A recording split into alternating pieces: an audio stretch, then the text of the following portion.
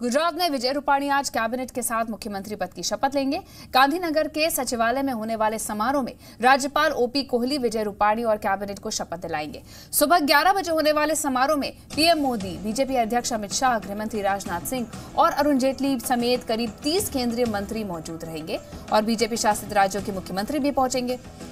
मुख्यमंत्री विजय रूपाणी और उप मुख्यमंत्री नितिन पटेल के अलावा आठ कैबिनेट मंत्री, तीन राज्य मंत्री स्वतंत्र प्रभार और तेरह राज्य मंत्री शपथ लेंगे।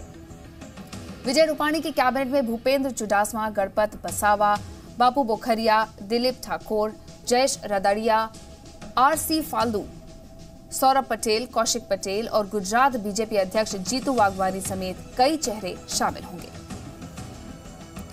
11 बजे आज ये कार्यक्रम होने वाला है। आपको बता दें कि आज शपथ ग्रहण समारोह में नीतीश कुमार भी शामिल होंगे, रघुवर दास भी शामिल होंगे। कुछ बड़े नेता कल ही पहुँच चुके हैं अहमदाबाद। आज 11 बजे 11 बजे सचिवालय में ये शपथ ग्रहण समारोह होने वाला है।